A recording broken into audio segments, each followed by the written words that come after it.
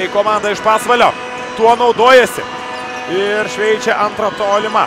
Kamolį iš eilės. Na, o Nikita Balašovas turėtų bandyti naudoti savo nedidelių ūgio pranašumu.